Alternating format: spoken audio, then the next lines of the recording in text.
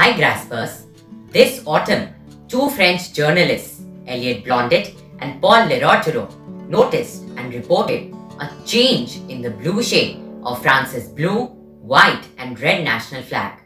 Affected by President Emmanuel Macron in 2018, the change of blue from light to dark navy shade was so hard to catch that it took people almost three years to observe and report. So, why did the president change the flag color?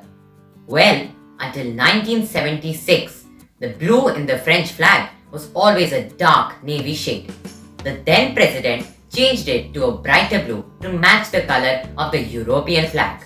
Current President Macron re-implemented the original flag color to honor acts of heroism in France's past.